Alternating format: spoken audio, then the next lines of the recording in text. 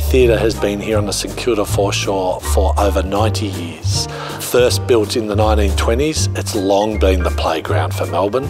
It's right next door to Melbourne's busiest beach, where thousands come every year to enjoy our fantastic bay. We want to make sure that the Palais is restored to its former beauty and that its future is assured. It's our most flexible and beautiful theatre and we need to bring it back to its former beauty.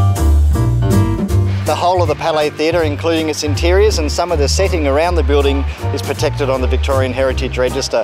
And that just goes to show how important the place is. It's an iconic building and a real landmark structure for the people of Victoria.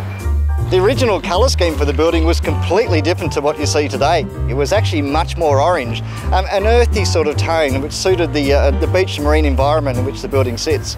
It was an iron sulphate treatment and they used to spray that on the wet cement render and that reacted with the lime in the cement and made this bright, vibrant orange colour. The current white paint scheme was applied, but it wasn't really traditional to the building. But we're trying to take the building back to the original intent, the original scheme of the designer and the builder by bringing back the earthy, beachy colour scheme.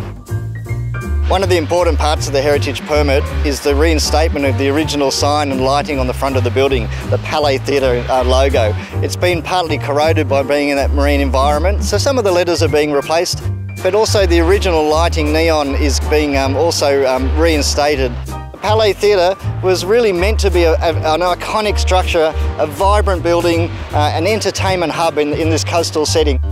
All Melburnians have a love affair with this theatre in some way. The Victorian Government is investing over $13 million in this fantastic restoration and we're doing that in partnership with the City of Port Phillip who are also kicking in $7 million.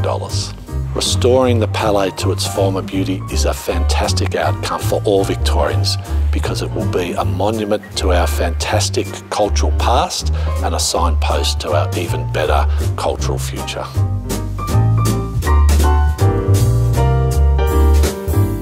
Authorised by Victorian Government, 1 Treasury Place, Melbourne.